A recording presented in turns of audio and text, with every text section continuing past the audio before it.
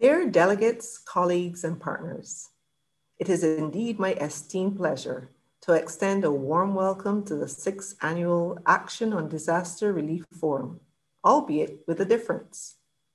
I wish to congratulate the GRV Global team for planning and executing a well organized virtual forum, given the challenges faced globally as we continue to navigate the uncharted waters of the COVID 19 pandemic. As in previous ADR fora, this year's event will continue its momentum by tackling the key issues around preparedness, risk reduction, disaster relief, and recovery.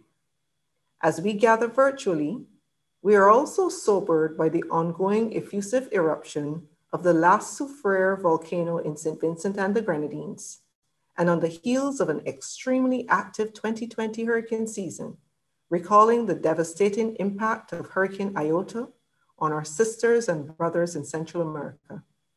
I want to again express solidarity with those who were impacted. The organizing team has designed a world class online virtual platform that is intuitive, engaging, and easy to navigate.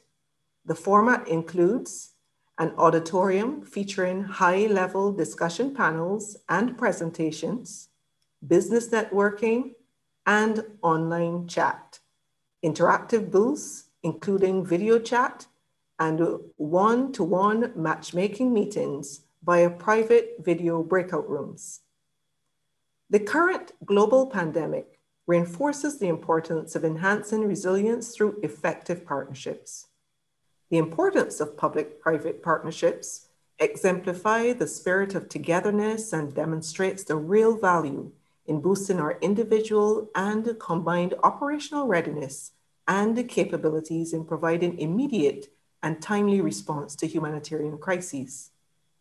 Partnerships also exemplify the human spirit, a willingness on both sides, public and private, to draw on each other's strengths to offer support where required.